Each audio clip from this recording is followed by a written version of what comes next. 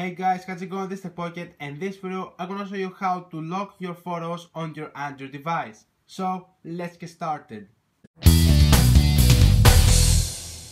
So for this tutorial you will need to download an app called CM Security which is free from, from the Google Play Store. Once you have downloaded, launch the app. So this app works as an antivirus as well, but in this video we're going straight through on how to lock the photos on your Android device. So uh, just go on these three lines and click on app lock and here you should see, uh, let me type the password here first, there you go. And here you should see every app that you have on your Android device, but we need to find our gallery. So here is gallery and what you need to do is just press the uh, lock here.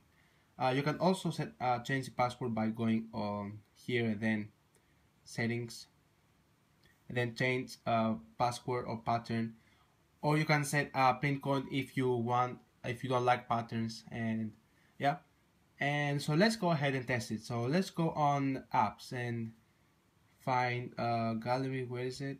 Uh, there you go. And there you go. Uh, it asks you for a pattern to um, your pattern you have just set in order to enter it.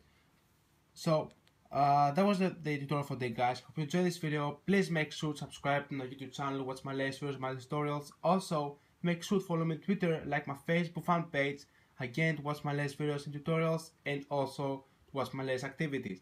Thanks for watching guys, and I'm gonna see you in my next video.